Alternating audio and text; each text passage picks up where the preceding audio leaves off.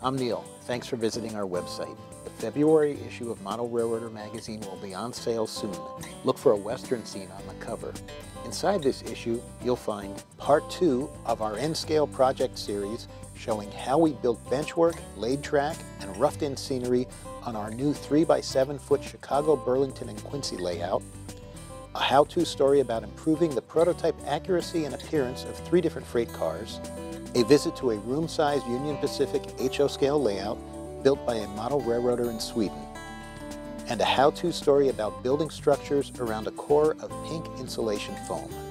Also in February's issue, learn how to weather a brick building step by step, visit a large-scale indoor layout modeling the Rio Grande Western, learn about a testing device to improve freight car mechanical performance, and read part two of a story about building a working mechanical interlocking machine and signals. Subscribers can go to modelrailroader.com to watch reviewed locomotives in action and download any of 500 track plans from our exclusive website database.